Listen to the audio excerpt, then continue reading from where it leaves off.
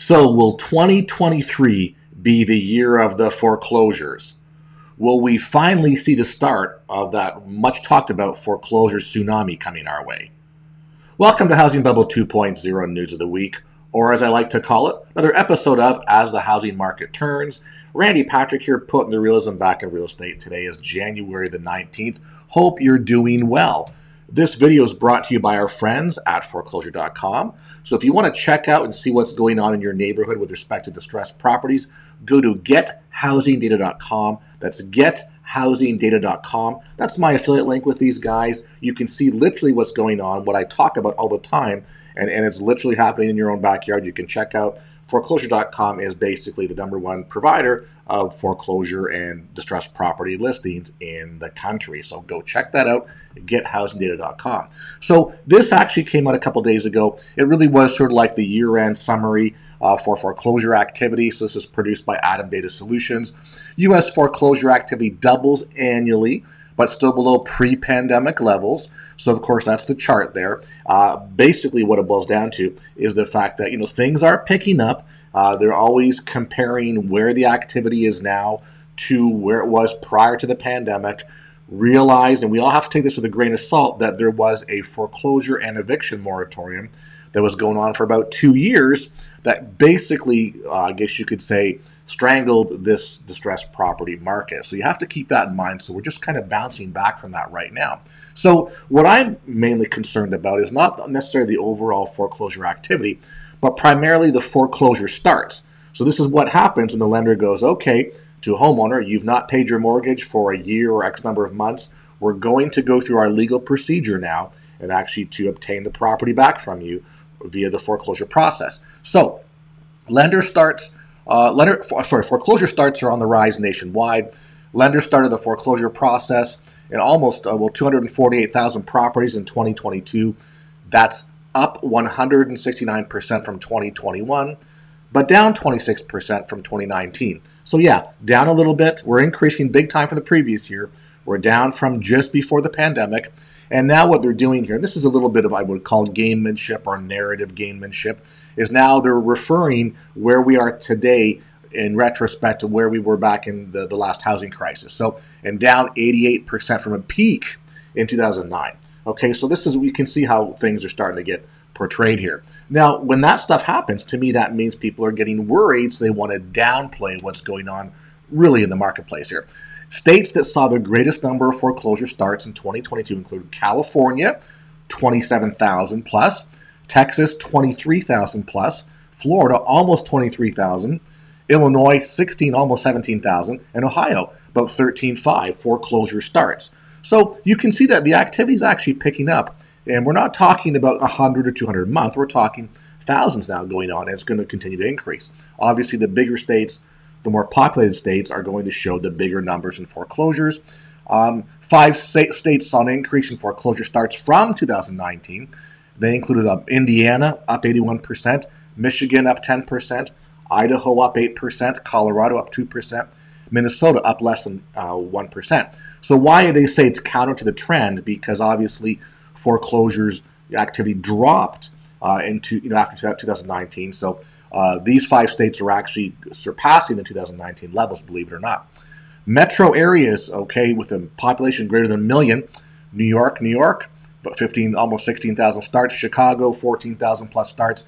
LA, 8,000 starts. Philadelphia, 7,200 starts. Miami, Florida, just over 7,000 foreclosure starts. So you can see that some of these larger cities, a lot of population, a lot of activity, a lot of big footprint, they they had a pretty busy year with respect to foreclosure starts. So th- to me, when I see 7,000 in Miami, because obviously I study Florida a little bit more anywhere else, I know that this is getting back to that's pretty much normal. Actually, not even normal, a little bit higher than normal foreclosure activity. Now, the states that had the highest rates, that's you know on a per per capita basis or, or you know number of units, you know foreclosures per number of housing units. Um, highest rates were Illinois, New Jersey, Delaware, Ohio, and South Carolina. Basically, top 10 states uh, Nevada, Florida, Indiana, Maryland, Michigan. So the, the same old players that had, you know, had the issues back in the last housing crisis definitely are rearing their ugly heads and they're going to be back at it again. Cleveland, Jacksonville, Atlantic City post the highest metro foreclosure uh, rates in 2022. Um, we've got locations like um, Jacksonville, North Carolina, Atlantic City, New Jersey, Columbia, South Carolina, Chicago, Illinois, Cleveland. Other areas that were up there with larger population bases were Philadelphia, Las Vegas, Jacksonville, Florida. So again, uh, you know, some of the states are, are repeat offenders. Some of these locations are just what we saw back in the last housing crisis. So really, when I look at what you know, comparatively speaking, things are taking shape. Things are kind of happening like they did back in 2007 and 8 and we're kind of seeing a, a replay of that. Yeah albeit there's some nuances and some subtle differences but in the end we're really going down that path of you know we're at correction time now and as the foreclosures manifest we'll be moving into what i would call crash territory. So if you take a look at the historical activity uh, this basically is the, the is the sort of chart here. So you can see that you know 2020 2021 we saw a, a marked decrease due to the pandemic so obviously there was a uh, a moratorium going on there, so very few foreclosures or foreclosure activity. Um, you know, in this case, the activity includes auctions, repossessions, starts. So it's not just foreclosure starts they're showing here, but you can see that, hey, you know, we, we, we're certainly increasing from where we were uh, back in 2008, you know, 18 and 19. We're starting to catch up now in 2022. I expect that we're going to see this trend uh, work its way upward, more activity, more foreclosure starts as time goes on. Another thing, too, oh, before I even get to that, um, if you enjoy the information I produce during these videos, if you could hit that subscribe button, I'd really appreciate that. And if you are a subscriber, could you please reaffirm and subscribe again because I've been losing subscribers uh, quite a bit over the past uh, year or two. So anyway, any growth uh, that I have certainly helps me out. So I appreciate that, guys. Thank you. Um, going down uh, the path of the foreclosures, again here, uh, average days to complete foreclosure. So clearly we've had an increase, well, this always looks bad, and there's, and there's, reasons why this looks bad. So people go, oh, I've got, you know, what's 852 days here on average? That's, you know, we're talking more than two years. Well, that's an average based on the, the, all the states across the board. Some states are what we call judicial states that take a, typically a little bit longer. Some states are trustee states, which basically can foreclose in you know 60, 90, 120 days once they file. So there is a difference there. Now, uh, historically, foreclosures have taken a long time for various reasons. But what I want to make sure everyone is clear on now is that days of having you know, I can be in my home for five years or 10 years and not have to worry about things. Those days are over. Uh, even before the pandemic hit and the foreclosure and eviction moratorium, I was seeing uncontested foreclosure cases in Florida getting done in five to six months. Okay, so these 800 plus days, that's historical. Um, that's you know a, a, lot of factors come into play.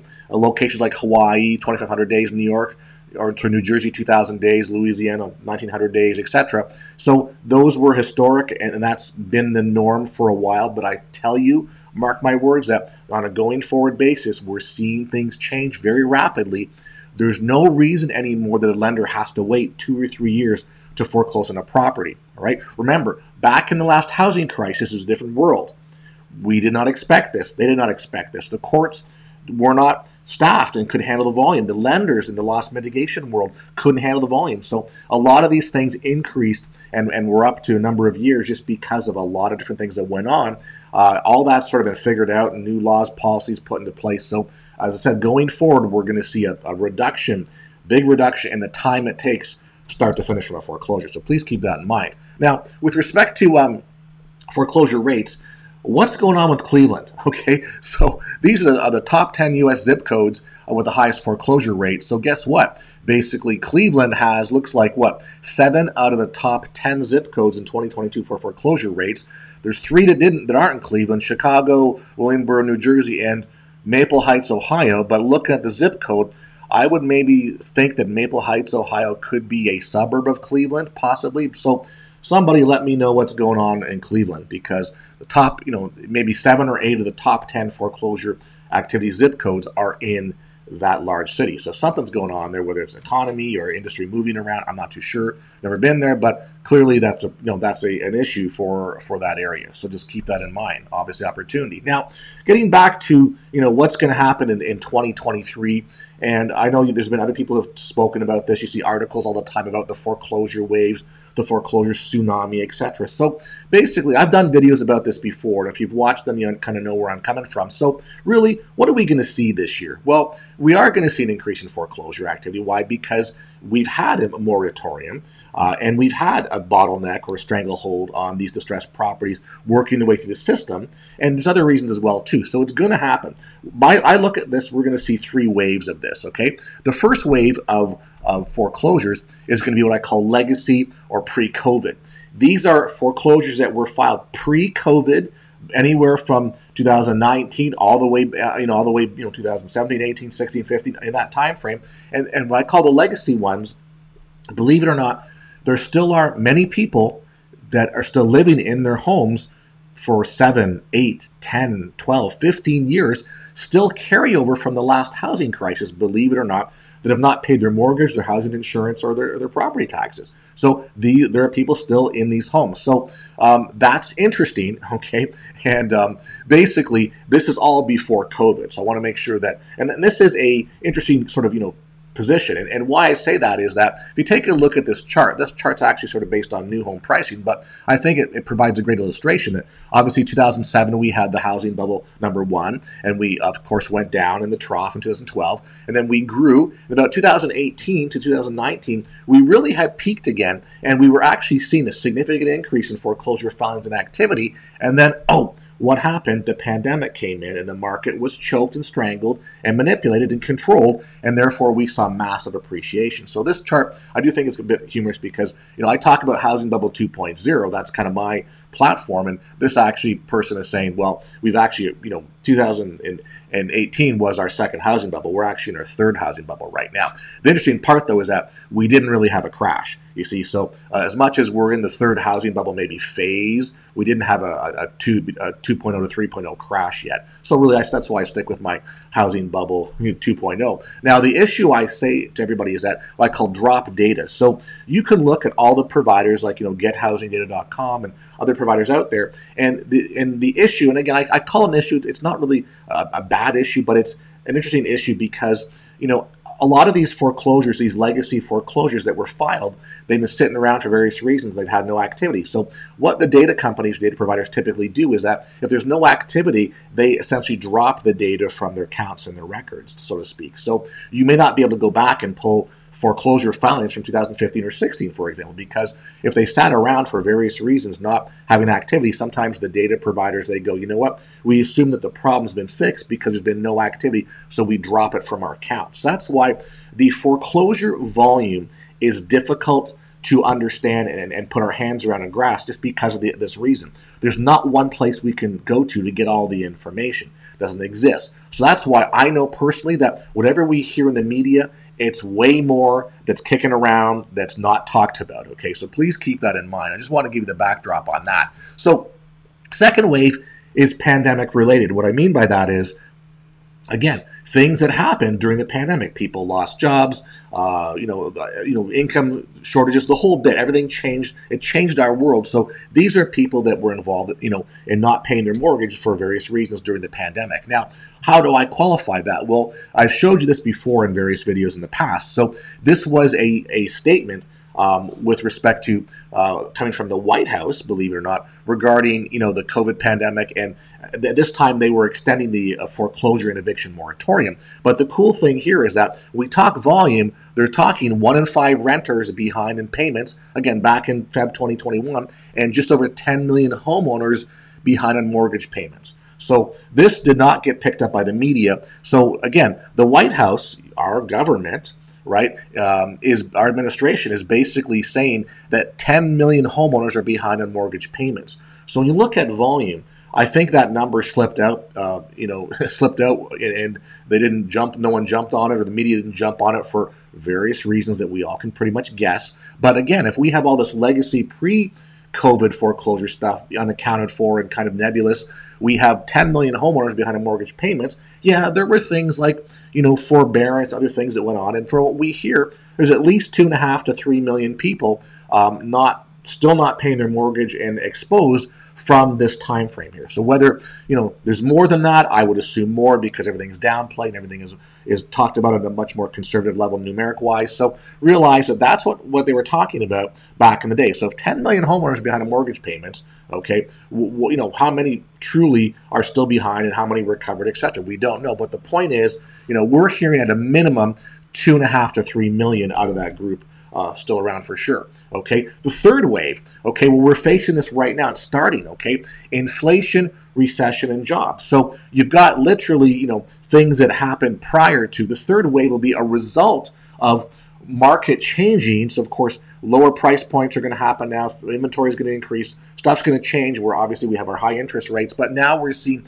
the effects of the inflation on everything that we buy and purchase and utilize. Recession here, I know you know we're not saying it's a recession, but it is a recession based on the technical uh, definitions. Jobs. Now we're seeing a lot of job losses coming out too. I just read the other day that it's uh, Microsoft is going to lay off 10,000 people. We know Apple has. We know a lot of the mortgage and real estate companies have. So you know, tech, big tech is is is you know lose people are losing jobs. So things are changing right now. So that's having so this economy. This is really it's an economic situation that's having an effect on our our uh, marketplace. And again, how do we know this? Well, guess what?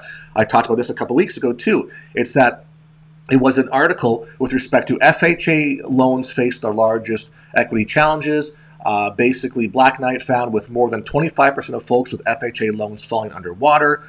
Additionally, some 80% had less than 10% equity in their home. So FHA loans are taking a beating with, with equity. And also, uh, early payment defaults Loans delinquent within six months of origination were also rising across product types in recent months, the largest increase among FHA borrowers over the past year.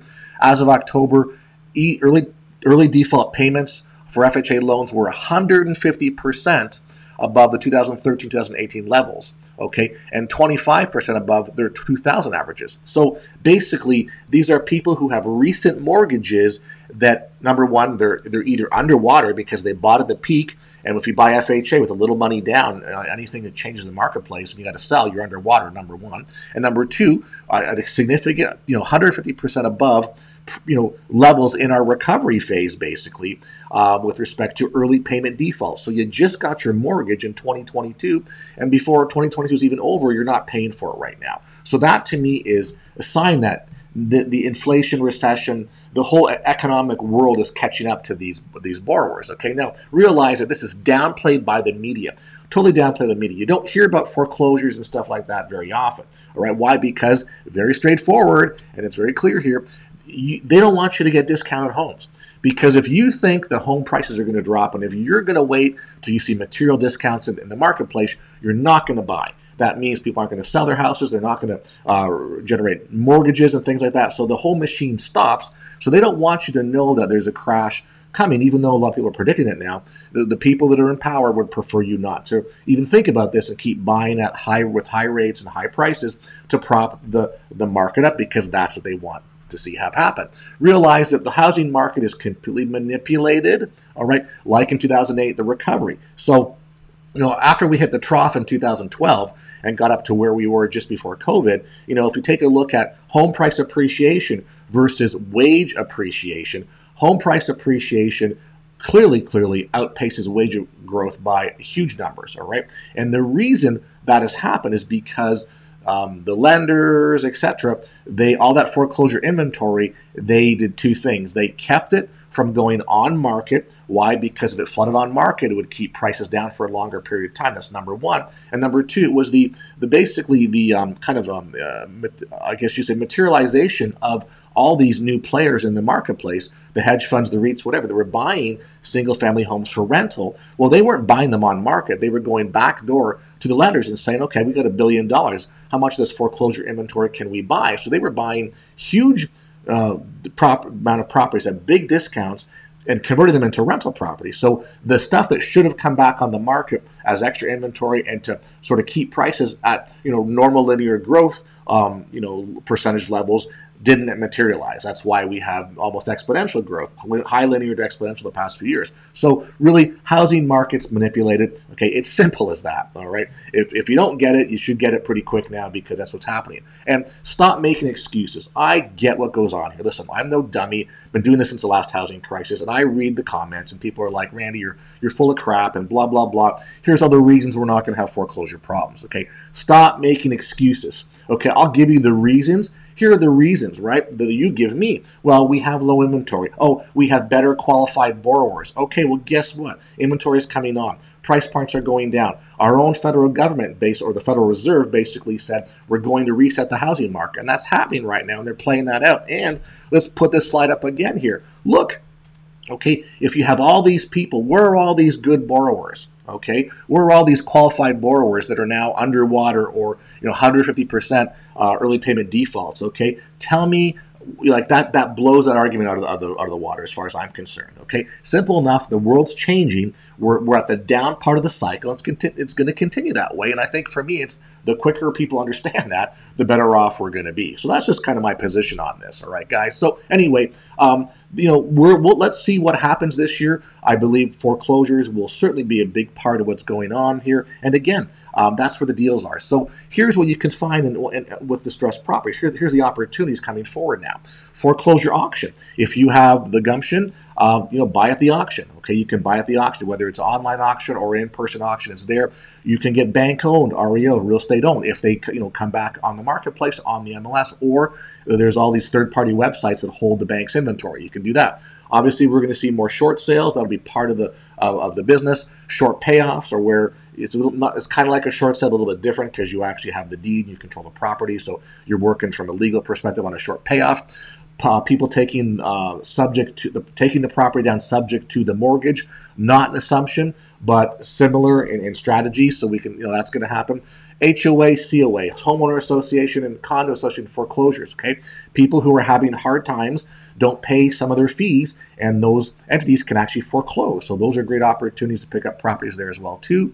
Um, probate, estate foreclosures. People have passed away. A large amount of people passed away over the past couple years due to COVID-related or other issues. So yeah, more and more of these properties are hitting the foreclosure dockets that need to have probate done, and they're sitting there doing nothing, and they're going to be lost and wasted going right back to the lender. So that's a great opportunity there. And as a result of all this foreclosure activity, there could be what we call foreclosure surplus or overage. So that's where say you owe 150 and your home gets sold at a county auction for you know 175 well that's actually a surplus that you're entitled to but most homeowners don't know they're entitled to it nor do they know how to get it. And i can tell you that the county or their lenders aren't going ooh you're owed money. They don't do that okay? So it's held in an escrow account with the county and it sits there for X number of uh, months or years, and it goes back to the county if nobody claims it. So again, a whole other niche market to support that. But again, as I said, a lot of stuff is going to happen this year uh, with respect to uh, what's going on in, in, this marketplace. I'm open for business.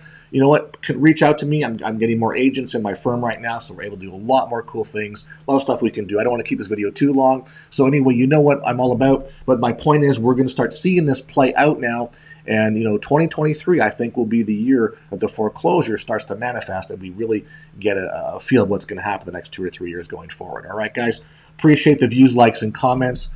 Please share the video with your family and friends. If you're not a subscriber, please subscribe. And guess what? We'll look forward to speaking with you probably next week. Take care.